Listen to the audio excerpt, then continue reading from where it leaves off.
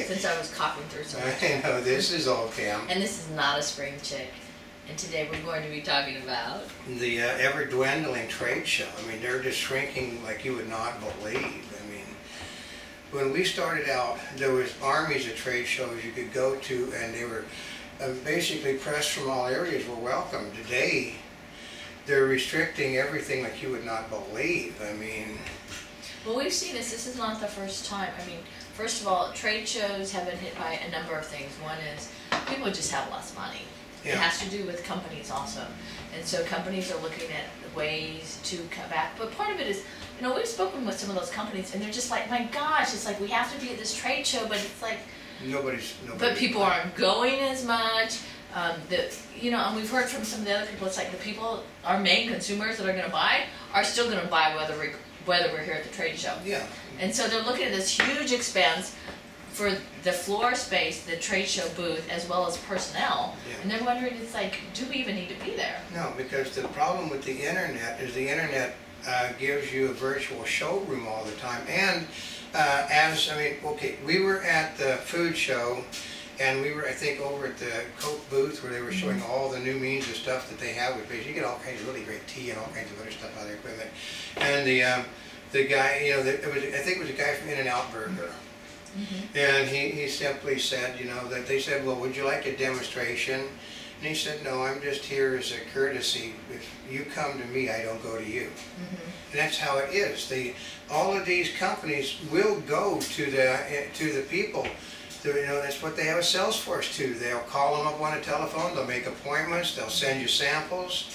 The trade show basically is sort of like the dinosaur in our country. Out of this country, they're really massive, they're getting bigger. Well, one of the, th- the great parts about the trade show is people collectively get together, they meet other people in the industry, and that's why, actually, that's one of the reasons why they always have seminars surrounding them. Oh, yeah. But, I mean, part of it is, is they get to network, and a lot of times they create relationships and synergies that they would not have come across Oh, a- because they're not there. big networking thing. Mhm. It's sort of like, um, um, it, it, but the problem comes is that we have seen the auto shows getting smaller, the home improvement show is getting smaller, the health fair is getting smaller, everything is getting smaller and smaller and smaller. And here's the trick is, as they get, as they shrink in size, they keep restricting themselves more and more what people can come in. They, they narrow their focus until they narrow themselves out of existence. Well, we've seen that with some of the other trade shows where um, we we don't need to name the organization um, because we've seen this across the board where they get more restrictive as to the press that can come. What happens is as the trade shows get more restrictive to the press that will come, fewer press come anyway. I mean, well, actually, fewer press were going to come anyway because they're of tighter budgets, Yeah. the- right? Then fewer press come because they're more restrictive on as to who can come.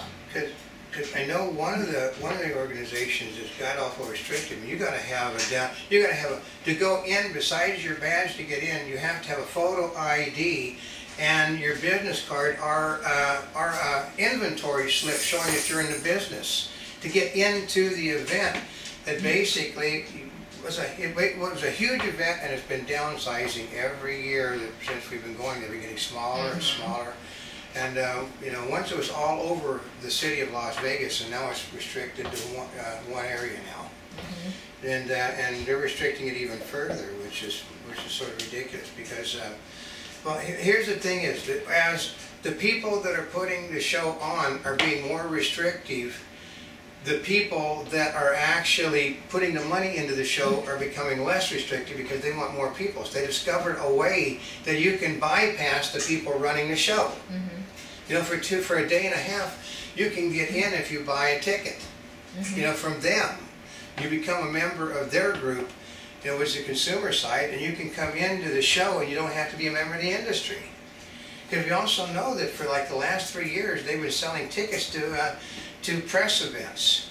You know, you know, uh, you know, which basically screws up the press. You can't, you got so much noise in the room, you can't do interviews. Here's here's part of it is is when you have a press event and you sell tickets so that anybody can come into the press event, Everybody does. everybody does, and so for the the companies that are there, they don't know who to believe. They don't know if you're actually press or not press, and so they cut back as to who they even want to talk to, Yeah, right?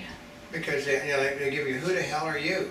Um, that, that, I always hate that response, who the hell are you? Well, we're the guy that's not gonna do the interview with you, that's who we are. But, um, uh, it, though, it's just, you know, part of it is, I remember last year, I mean, I know some of the security people there, and one of the security guards told me at one of the events, well, we were expecting five thousand in the press and we got like seventeen hundred.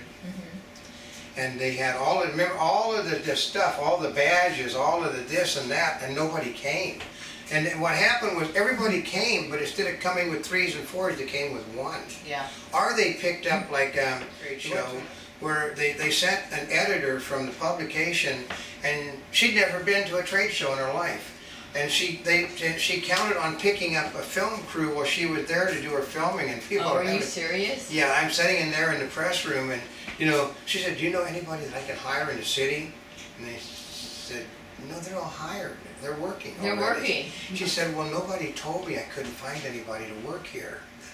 Well, yeah, You should have made those arrangements beforehand. but she didn't know she was coming. Um, we know people that basically live and die off of covering these events that are no longer going. They're covering them by, um, you know, okay, the, uh, okay. When I was younger, they used to do recreation. I mean, I, they didn't really have the national networks like they do now. So they do they do recreations of baseball games. Ronald Reagan, for instance, did recreations of the Chicago Cubs games. Well, okay, here's part of it is they're streaming it live. Yeah, so you pay to Okay. get up. So if, let's just say Sony decided to stream it live, okay, and you're not there. Well, first of all, if they're streaming it live, what do you even need to go there for? You can just sit, Sit at home and watch it.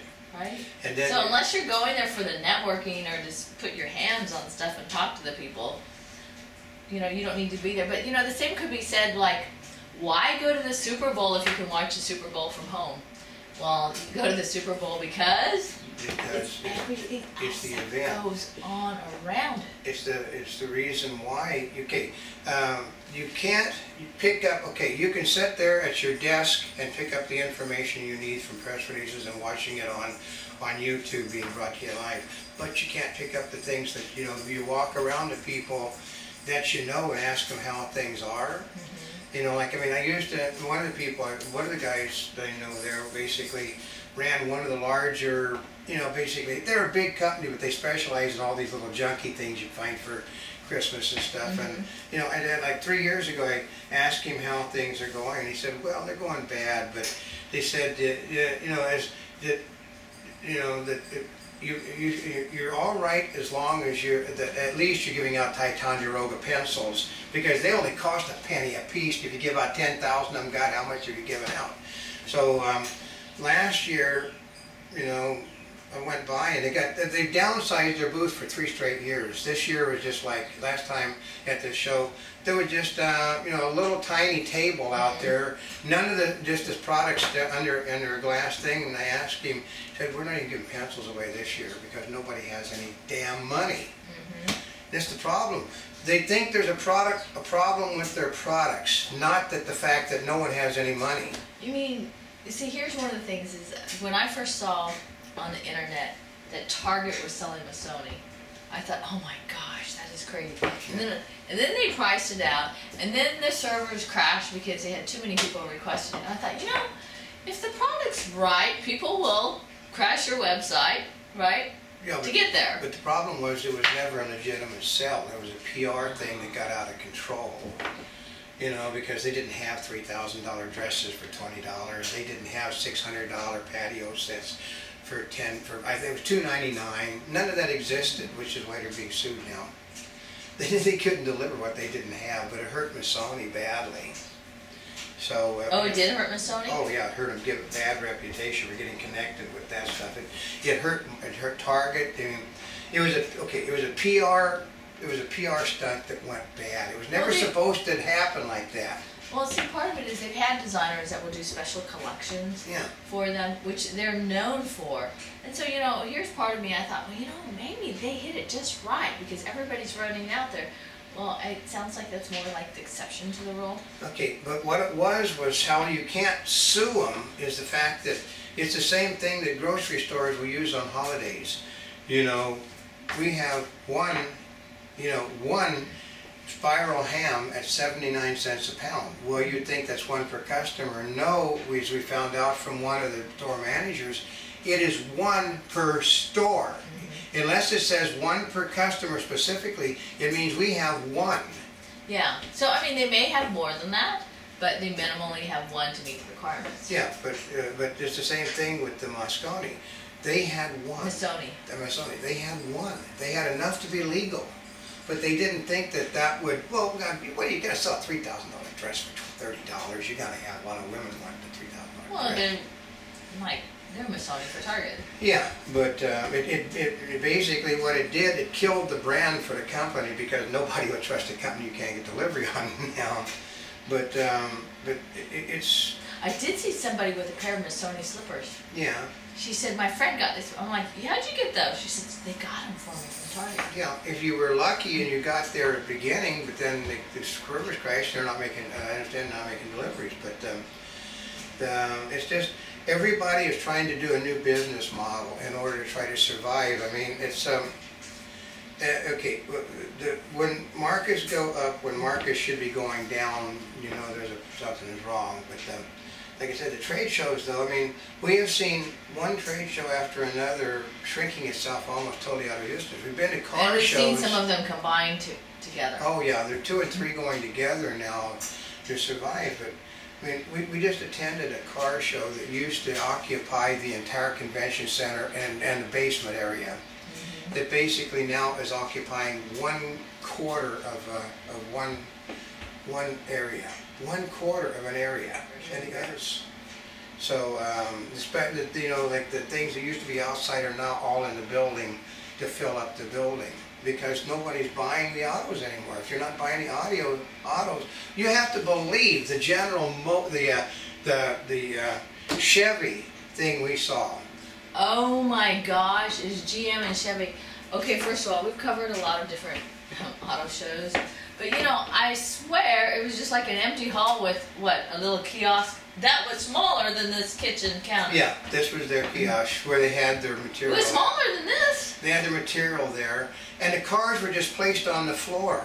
There was no, you know, they usually have these huge signs and they tell you about the new products that are coming out and Hell, we couldn't even find some of the products that they were talking about. No. We had to, we were looking all over the place. Uh, okay, where is this car? You know, we're going over, and then you know we looked all over the place. It, it made like three trips around, which didn't take us a long time. Three trips. We finally found a car, a GM car that they're selling. A the Chevy Volt. Basically, it's a you know they, they basically it was just stuck in a corner. Nobody cares about the Volt. But they were pushing the other one is their hot new car, and it was only A, and it didn't have a price on it. But that's what they're coming to. We've been to um, music shows, which basically, um, if, if you were breathing, you could get in because everybody they want they don't care who they sell their instruments to as long. Okay, you don't go to a music trade show unless you want music. It's instrument. Well, yeah, I mean, part of it, yeah, that's why you So go. the people that come in, but I mean, like, uh, we can tell you last year, we were, we were invited to a press conference and we got there, they told us we couldn't come because we couldn't get in the building. You know, because they banned the press at that show totally. You know, unless you're a member of the music industry press, which basically is not, they don't cover the show because Well, there's no need of here's covering. it. part of it. If you're part of the industry specifically, and that's all you focus on, you're gonna cover it anyway. Yeah, but you don't even, you're gonna, they're just gonna send you the information. You don't have to go because there's no stars coming anymore. It's just we're getting ready to do another trade show. And I'm looking at the celebrity, uh, you know, you know, like uh, seven days of people I've never heard of. I mean, I'm, I'm checking records. Well, she was a Hooters, she was Miss Hooters of Nashville, Tennessee. Well, who the hell So? that? Or, you know, uh, he did a piece of artwork 20 years ago for Ronald Reagan. Um, Yeah, that doesn't get you too I mean, excited. that is not going to go, I mean, we're talking, they used to have major performers. I can remember, um, you know, I'm, I'm filming an automobile and, um, And uh, William James Elliott, he's their big tall guy from Jag and stuff. He asked me, "Hey, could you could you shine that light underneath the car?" And he gets down on his back and he's crawling underneath the automobile, looking at, "Oh, damn, look at these mufflers." Because he wanted those mufflers, you know, and he's trying to see if you could actually put them on the car, you know. But this is what you get. You get the star power that would come in because there was star power at the events. Today, basically, all of that's gone. They don't have any money anymore. I mean, you can't even, okay, we're, uh, one, we're, we're picking, we got two shows coming up in a row that we're making certain we got at least a microwave and refrigerator in the room because we don't have any food in, in the evening. We used to have parties. Yeah, we used to have, yeah, there used to be tons of parties to go to, so you never had to worry about food. Yeah, we can tell you that, you know, uh, major automobile companies no longer, I mean, you used to count on, on their part, uh, on their events at trade shows. You know, where they're putting the auto shows, they're doing all of these trade shows. You count on the Toyota, the, uh, you know, this part, you know, the Ford, the Chevy, the Honda. Honda parties used to be legend, folks. Yeah. And, uh, And the Toyota parties. Toyota parties, and uh, you know, and, you know, and there, there's no food anymore. I mean, it's just like great big empty vacuums where these people used to be, because they're they're not selling the cars like they need to sell, and they've decided to cut back on advertising budget, and that's where a lot of trade shows come from, is from their advertising budget. You can basically find a better use of your advertising dollar than going to a trade show today. Well, that's one of the reasons it probably dwindled. Yeah, because, uh, okay, and then here's another trick. How do you know a trade show is going to really be bad? Is if it's a Monday, you, you, you, it's a Sunday and Monday show, basically people come in on Sunday and they leave. If it's a Sunday, Monday, Tuesday, Wednesday, Thursday show, they come in on Sunday and they're gone on Monday. They go, they go, they ship, they basically stay one night in a hotel, the cheap night, and the next day they come by to see if anything else is going, and they're at the airport in the You know, I afternoon. think there's, there's twofold, because, see, part of it is, we've heard it from the exhibitor sides before, where they're like, because especially we go into Vegas, right, several times a year, and they basically said, the companies are gouging us, Yeah, right? It's They're too much. gouging us on the lodging, they're gouging us on, well, actually the lodging, yeah, um, food. food, everything. They're just like, it's just getting too expensive for us to come, and they're trying to sit there and justify it. Well, we, we know, we have been to, uh, I was watching a thing, other guy said, you know, well, I don't go to, I don't go to this chain, this, this chain burger store because it's gonna cost me as much as if I go to this burger store. And mm-hmm. these are better burgers to begin with, because when conventions come to town, they have this nasty little habit, the prices all go up. Isn't that something? Yeah. it can cost you more the, the, the, the day of a convention than the day before the convention for a lot of things. Mm-hmm. And that's, that it pisses people off. They want, I mean, actually, it's a big blow to Las Vegas, but they want a lot of these conventions out of Vegas in the communities Oh, where they are more friendly. Why Vegas works is because